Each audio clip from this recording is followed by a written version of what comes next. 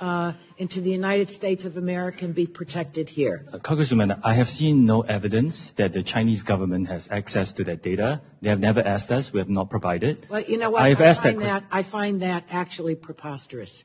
I I have I uh, looked in. I have really seen no evidence of this happening.